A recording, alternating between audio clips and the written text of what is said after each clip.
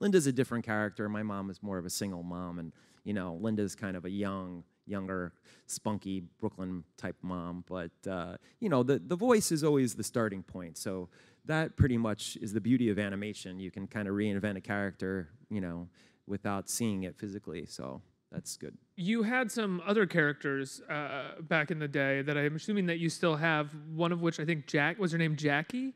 Yeah, it was had Deborah and Jackie. Deborah yeah. and Jackie. She had That the taped nose. That hurt uh, to do a lot. I would tape my nose up and walk around town. Um, and you not uh, do her anymore? No, I well, it's been a long time. There's a character on Bob's called Jocelyn that I do, and it's very similar to to that voice as well.